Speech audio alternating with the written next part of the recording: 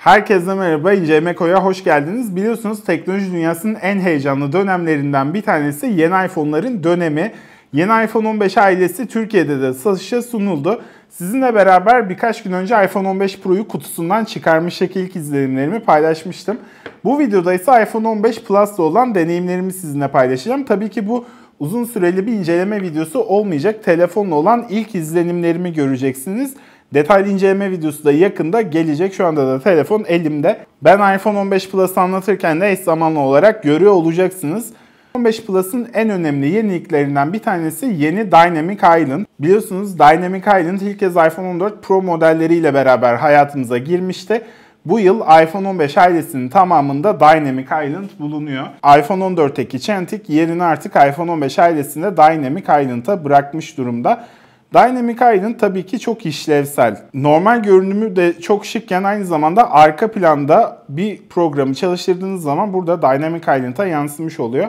Şu anda çalan müziği Dynamic Island üzerinden görüyorsunuz. Burada basılı tuttuğum zaman da daha genişletilmiş bir şekilde erişebiliyorum ve aynı zamanda bunu yönetebiliyorum. Dynamic Island aynı zamanda çoklu görevleri de destekliyor. Örneğin buradan bir sayaç başlatıyorum ve Sayışı başlattığım zaman onun da Dynamic Island'a geldiğini görüyorsunuz. Buradan ona da erişebiliyorum. Gerçekten çok pratik bir özellik. Hem buradaki alanı oldukça kullanışlı yapıyor. Ben zaten 14 Pro'da severek kullanıyordum. Özellikle 3. parti uygulamaları da desteklediği için örneğin Instagram'a story atarken Dynamic Island'ta arka planda story'nin yüklenme yüzdesini vesaire de görebiliyorsunuz. Buna beraber canlı maç skorlarını görebiliyorsunuz. Formula yarışlarını takip edebiliyorsunuz gibi yazılımları da destekliyor. iPhone 15 Pro'daki diğer yeniliklerden bir tanesi de USB Type-C girişi. Burada artık iPhone 15 ailesinin tamamında USB Type-C girişi yer alıyor. USB Type-C girişiyle ilgili size göstermek istediğim birkaç tane detay var. Öncelikle kutu içinden çıkan kablo örgü kablo. Daha önce iPad Pro modellerinde gördüğümüz Type-C'den Type-C'ye örgü kablonun bir benzeri de iPhone'ların kutu içeriğinde yer alıyor. Örgü olması, örgü olması sayesinde kablonun dolaşması gibi bir problemle karşılaşmıyorsunuz.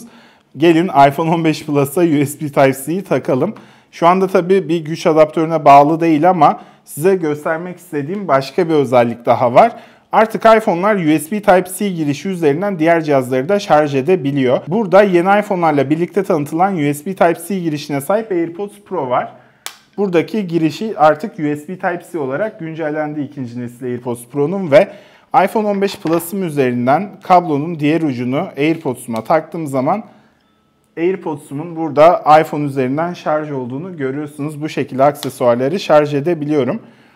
Hemen size şarj konusuyla ilgili başka bir özellik daha göstereceğim. Yine biliyorsunuz Apple Watch'un da girişi aslında Type-C ve Apple Watch'un şarj kablosunu iPhone 15 Plus'a takıyorum.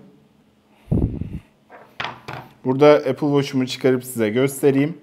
Şarja taktığım zaman Apple Watch'um iPhone 15 Plus üzerinden şarj oluyor. Tüm iPhone 15 modellerinde bu şekilde aksesuarları şarj edebiliyorsunuz. Hatta başka bir iPhone'u da şarj etmeniz mümkün. Özellikle bence seyahatlerde çok işinizi kolaylaştıracak bir detay olduğunu düşünüyorum. Gelin iPhone 15 Plus'ın diğer tasarım güncellemelerine bakalım. iPhone 15'in arka tarafındaki cam yüzeyi değişti.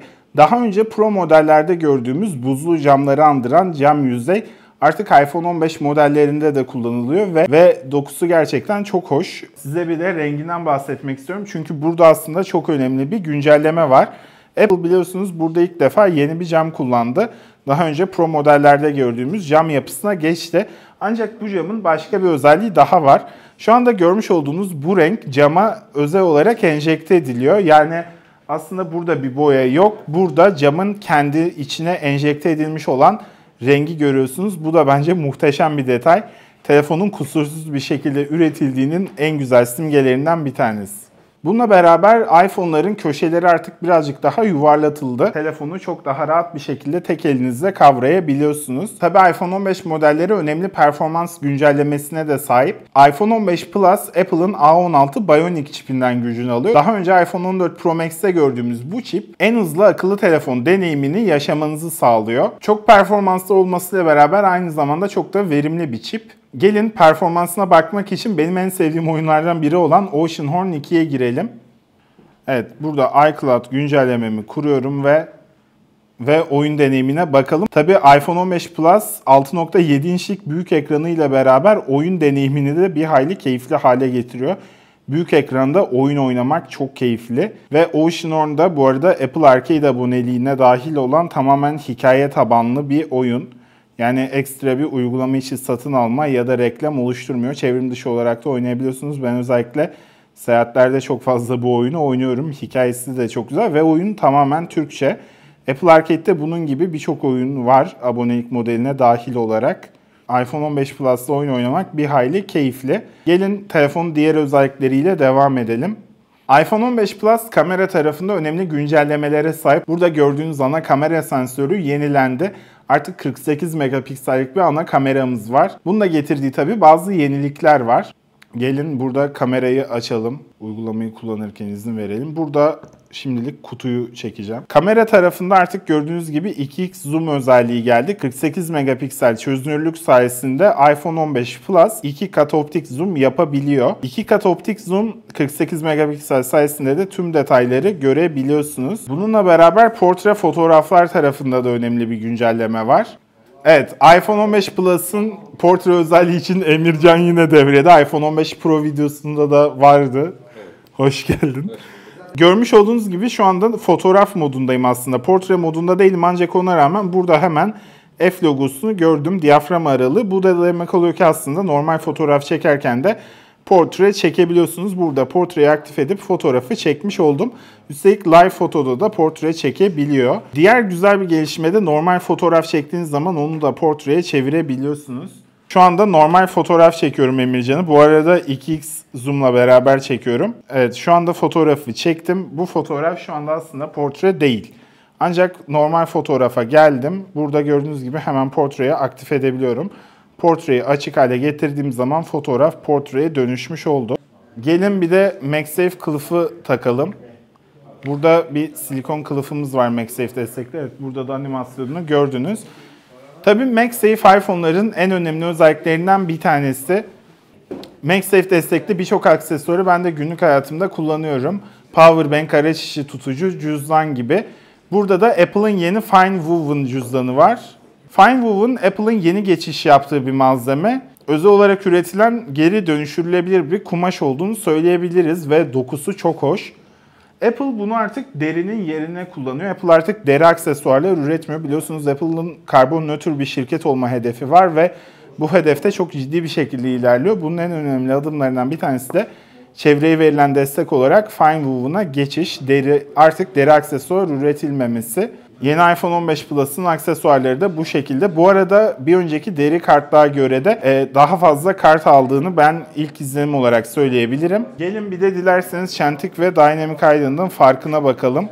Evet burada çentiğe sahip iPhone 14 Plus'ı görüyorsunuz. Burada ise yeni iPhone 15 Plus var Dynamic Island'la birlikte.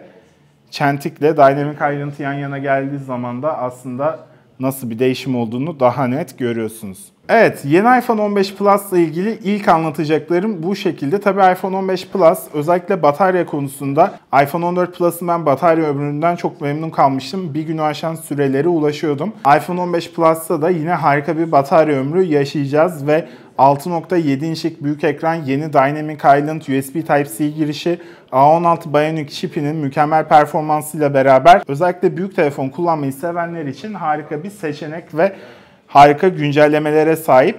iPhone 15 Plus'ın detaylı inceleme videosu için şimdiden çalışmalara başladım. Önümüzdeki haftalarda da hem yeni iPhone 15 Pro'nun hem de iPhone 15 Plus'ın detaylı inceleme videoları YouTube kanalımızda yayında olacak. Siz iPhone 15 ailesinde hangisini en çok beğendiniz? iPhone 15 Plus ile ilgili de görüşleriniz neler? Bu arada telefonu bence alan takipçilerimiz de vardır. Ee, iPhone 15 Plus'ı kullanmaya başlayanlar varsa Onların da deneyimlerini yorumlar kısmına bekliyorum. Yeni iPhone'larla beraber bol bol içerik üreteceğimiz harika bir dönem bizi bekliyor. Bu içeriklerden haberdar olmak için YouTube kanalımıza abone olun. Ayrıca Instagram'da da beni takip edebilirsiniz. Orada da hem dikey videolar paylaşıyorum hem de günlük bilgiler paylaşıyorum. Bir sonraki videomuzda görüşmek üzere. Hoşçakalın.